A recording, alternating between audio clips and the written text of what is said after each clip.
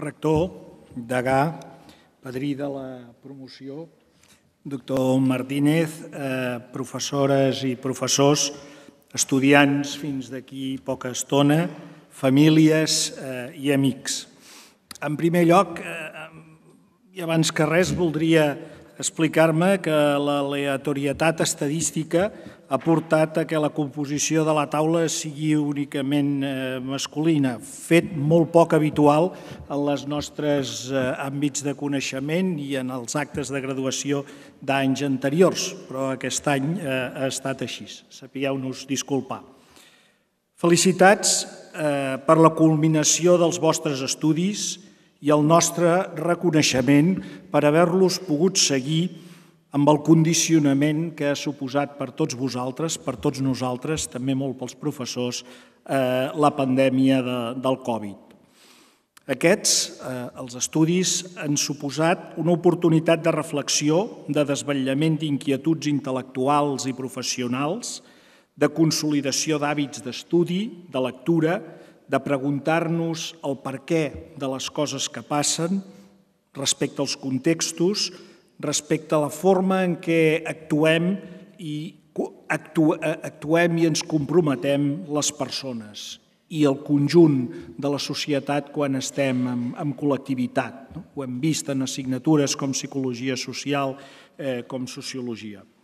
Us heu preparat i heu aprofundit en unes professions que signifiquen treballar amb i per als més vulnerables, amb les perifèries de la nostra societat, el vostre rol, el vostre paper, serà acompanyar persones que sovint pateixen carències socials, però que també pateixen psicològicament, espiritualment.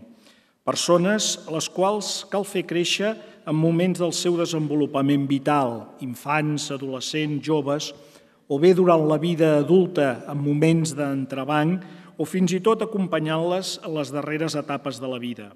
Infància sense referents, persones aturades, institucions amb equips desmotivats, infrafinançades, amb falta de mitjans, persones grans soles, allunyades de les seves famílies.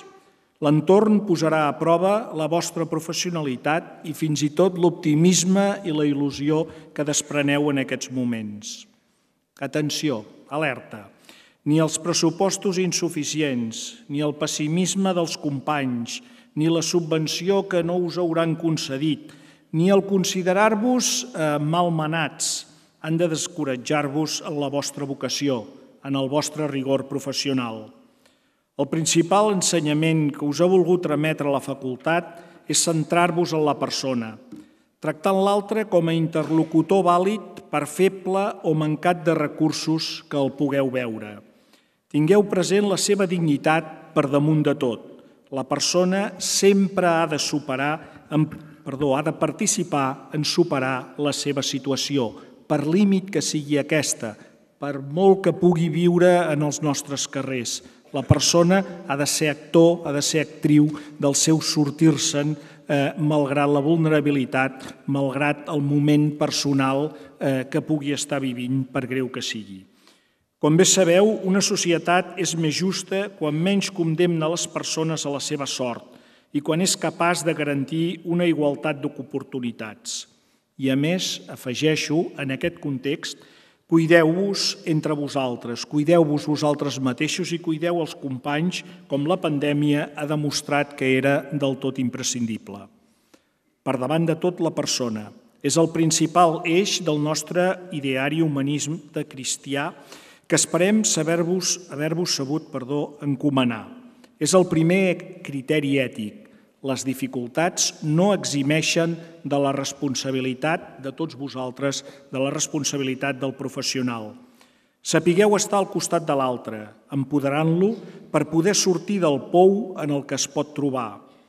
Despertem i reconeguem les capacitats perquè llueixi la resiliència en l'infant, en l'adolescent, en el jove, eh? aquella capacitat de créixer, de sortir-se en ell mateix, de recuperar la posició inicial. Les ànimes, els esperits, també passen gana. Veureu gana física, però també veureu gana en l'acompanyament, en la relació personal.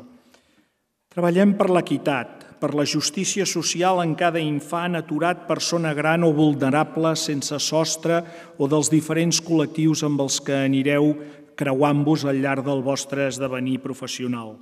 Combatem les causes, manifestem-nos indignats, però mentrestant no neguem la utilitat de les iniciatives socials ni que les percebem com molt assistencials. De la vostra eficàcia, del rigor del treball que porteu a terme, se'n dignificaran unes professions imprescindibles però que per raons diverses no són valorades com es mereixen en la nostra societat.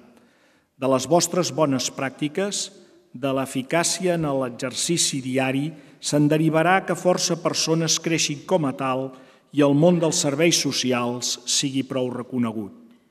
Felicitats per l'esforç que heu fet. Felicitats als que us han donat suport, als vostres pares, a les vostres parelles, eh, per l'oportunitat que la vida us ha posat al davant per poder-vos formar a la universitat. Felicitats i gràcies per haver confiat en la Facultat d'Educació Social i Treball Social Pere Tarrés de la Universitat Ramon Llull. Gràcies a vosaltres, a les vostres famílies i parelles que han contribuït a fer-ho possible, i ho sabeu bé. Gràcies als professors i professores, òbviament, i al conjunt de l'equip humà de la facultat per haver-vos despertat inquietuds, facilitat els vostres aprenentatges, haver fixat el marc que us ha acompanyat aquests anys en el vostre creixement personal i intel·lectual, encara que fos a través de les pantalles. En un context global centrat en el tenir, en el consumir, agressiu i egoista, vosaltres sou uns professionals al servei de les persones.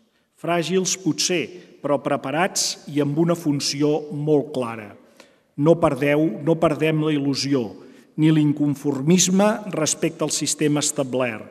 Penseu que amb la vostra intervenció, amb les vostres decisions a voltes apressades, condicionareu la vida de tercers. La vida, eh? el conjunt de com aquella persona creixerà es desenvoluparà els següents anys.